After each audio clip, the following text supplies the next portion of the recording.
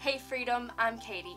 Are you tired of filling out so much paperwork when you come to drop your kids off for nursery or children's church? Well, I've got great news. We're switching over to an electronic sign-in system. Karen told me she's having a little bit of anxiety about all of this and she needs to speak to a manager. So I thought I'd make a video to show you guys just how easy and fast it really is. First, you want to grab your smartphone. Whether it's an iPhone or an Android, it should all work the same. First, you want to head over to the App Store and search Church Center app. Once you find the app, click download. Don't worry, it's free. Once your app is downloaded, you want to click Get Started.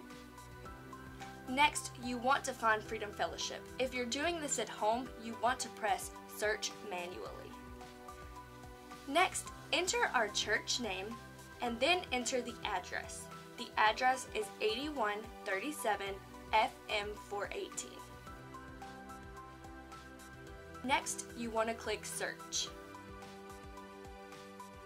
Then there it is, Freedom Fellowship of Silsbee. Next, enter your mobile number so you can receive a login code. Once you enter that code, press Next. Once you have finished setting up your app, you should be on this home screen. Now, you want to go to the bottom right corner that says Check-ins. Now, check the date or event that you would like to check your child into.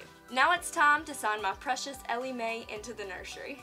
To do that, I will just select her name, and if you have more than one child, select all of your children and click Next. And there it is, you're ready to check in. We suggest that you do this either before you leave your home for church or when you're heading to church. The next step is to head to a check-in station. All they have to do is scan your code, print you a label, and you're ready to go. Now there's no more paperwork to fill out and your kids can go to class easy and stress-free. We cannot wait to see you and your children this Sunday for an easy check-in experience.